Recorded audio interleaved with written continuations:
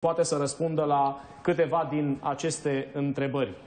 Sigur de ce că- timp de 10 ani s-au putut face sute de milioane de euro în regimul Băsescu fără ca nimeni să-i deranjeze? O voi face, Radu, plecând uh, de la a fixa personajele și evoluția lor în timp.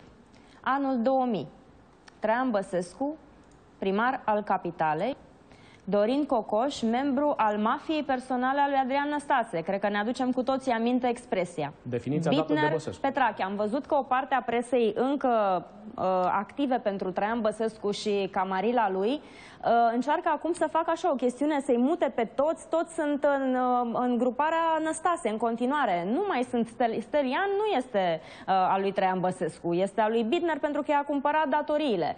Uh, Dorin Cocoș, tot în zona asta este, a rămas cu Dorin Năstase. Cocoș era un biet cârciumar, uh, cum să spun, șmecheraș pe la primăria Au capitalei. apărut acum pe vremea lui fotografii Năstase. că în um, anul acesta um, Gheorghe Stelian era cu Bejnariu um, la ziua lui Pescariu în Bulgaria. Deci încearcă în continuare să placeze undeva, nu cumva să ajungă la Traian Băsescu toată povestea asta. Bun, deci avem de-a face așa. Gruparea Bitner-Petrache și cei mai mici din gașca lor, printre care se afla și Dorin Cocoș.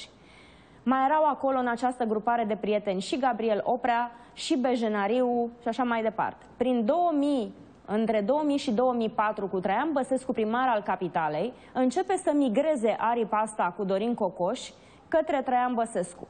Și apare grupul de la Golden Blitz, da? asfaltatorii de la uh, restaurantul celebru, care erau oamenii lui Dorin Cocoș. De aceea se știa pe piață că Dorin Cocoș este un asfaltator. Eu așa l-am preluat, eram la Jurnalul Național și am făcut ancheta care a dărâmat Consiliul Municipal din cauza afacerilor consilierilor. A fost o premieră în România. În urma anchetei mele, Corpul de Control al primului ministru condus de Ponta la vremea respectivă a făcut o anchetă și s-a dizolvat Consiliul Municipal. Nu s-a mai întâmplat așa ceva, cred că în multe țări din lumea asta, din cauza corupției de acolo, de sub Traian Băsescu.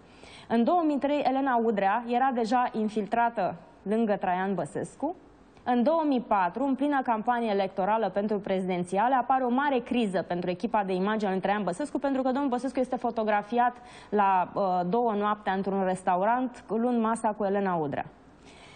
Luând masa, zic. În 2005 deja doamna Udrea este la Palatul Cotroceni. În perioada asta, la primăria capitalei, apare și uh, tent- miza puternică a retrocedărilor. De aceea Traian Băsescu nu este protectorul, este inventatorul rețelei pe care noi o vedem astăzi evoluând. Uh, tu ai spus la un moment dat că regimul Băsescu a tolerat. Nu, regimul Băsescu a înființat, A înființat. și a protejat această grupare. Iar hoția este bine cunoscută de Traian Băsescu și poate, cine știe, doamna și va dovedi dacă nu cumva unul dintre beneficiari a fost și Traian Băsescu.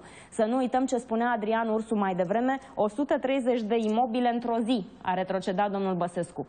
Multe dintre, ele, multe dintre ele neavând, să spunem, documentele foarte în regulă. Bun, deci mafia imobiliară a început de la primăria capitalei în regimul lui Traian Băsescu. Ce s-a întâmplat acum, în acești ani?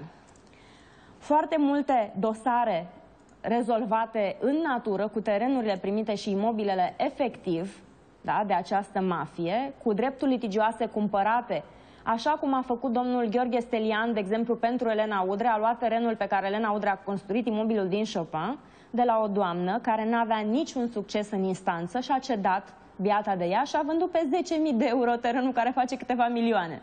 Incredibil. În tranzacția, probabil acolo e o chestie de spălare de bani. Trebuie să vedem, dintre Stelian și Udrea, prețul e de 900.000 de euro, aproape un milion. Da? Valoarea lui fiind Deci, mult Gheorghe mai mare. Stelian a cumpărat un teren în zona rezidențială cu 10.000 de euro și l-a vândut Elenei Udrea cu nou, lui Dorin Cocoș, Da. bănuiesc cuplului, familiei Cocoș Da, Udrea, cu cu 900.000 900.000 de euro. de euro. Și valoarea lui de piață e de câteva milioane. Milioane.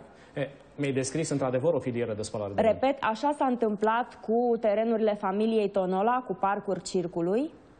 Uh, 100 de mii de euro a primit ma- domn- moștenitorul lui Maximilian Tonola.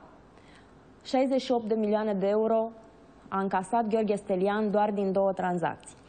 Veți vedea că în această rețea sunt implicate foarte multe nume grele din politica românească. Domnul Onțanu, primarul sectorului 2, trebuie să dea explicații din punctul meu de vedere procurorilor și de asta spun că Laura Chioveș ar putea să ajungă în N dosare pentru următoarea poveste și Adrian Ioniță ne ajută cu uh, această schemă a relației dintre personaje. Niculina Tatarici este asociata lui Gheorghe Stelian, Este sora secretarului primăriei sectorului 3 de, la, de sub Negoiță, domnul Marius Mihăiță.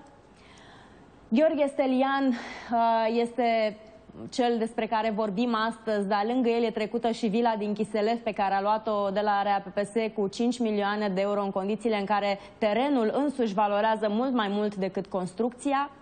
Prefectul capitalei Mihai Tănăsoaie de la momentul respectiv uh, girează multe puneri în posesie absolut în neregulă și o să dau exemplu următor, dar să terminăm cu schema. Tot Gheorghe Stelian, printr-un intermediar, printr-un paravan numit Silviu Iordache, ia de la Elena Udrea hotelul Mamaia, din uh, stațiunea cu același nume. În mandatul de ministru al turismului. În manda nu în mandatul de uh, ministru al turismului, dar această companie, Litoralul SA și două companii, Litoralul SA și Mamaia SA, erau în subordinea ministerului exact. și s-a făcut licitația. Elena Udrea și-a pus oamenii acolo pe vestitul Cârstea de la Lacul și Parcul, un alt paravan al familiei, uh, uh, familiei politice Udrea Băsescu, să spun așa. Alexandru Faur, asociatul lui Gheorghe Stelian, uh, în uh, într-o, în o parte din aceste retrocedări este uh, cel care a scutit-o pe doamna Udrea de nopțile de nesomn, achitându-i uh, creditul de 3,3 milioane la BRD și asta e o chestiune care n-are cum să nu ducă la arestări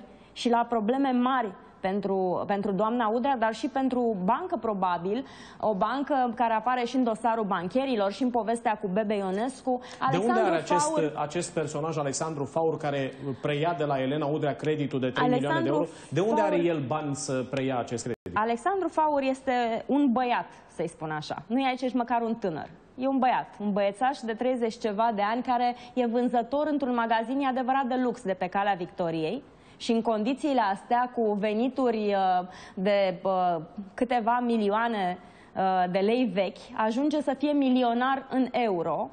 Ați văzut mașina pe care conduce, uitați veniturile lui potrivit declarațiilor date la fisc din 2000 până în 2010, da? Uh, cel mai mare venit este de 134 de milioane deci de lei acest, pe an. Acest băiat an. care nu face nici câteva mii de euro pe an, achită, doamnelor și domnilor, pentru Elena Udrea un credit de 3 milioane de euro și circulă cu o mașină Bentley Continental în valoare de 200 de mii de euro. Ca să vă dați seama despre cine pentru că uh, și vă el, vorbește Oana Stancu. Bine răspunsul, Radu, pentru că și el este un paravan folosit de această rețea Corect. de samsari imobiliar. De acolo, uh, să zicem, banii lui Alexandru Faur, dar cred, că, Faur, dar cred că nu-și închipuie nimeni că el chiar a achitat creditul acela pentru Elena Udrea. Tocmai de-aia spun că e un dosar pentru care doamna Udrea să aibă mari probleme. Ce s-a întâmplat de fapt? Doamna Udrea a luat creditul de la banca respectivă pe care l-a garantat uh, cu terenurile pe care urma să construiască uh, niște imobile, iar ce s-a întâmplat acum în fapt înseamnă că acest domn Faur i-a dat Elenei Udrea o șpagă de un milion și jumătate de euro, diferența între cât valorau terenurile în momentul în care le-a achiziționat dat, Elena Udrea și-a garantat cu ele creditul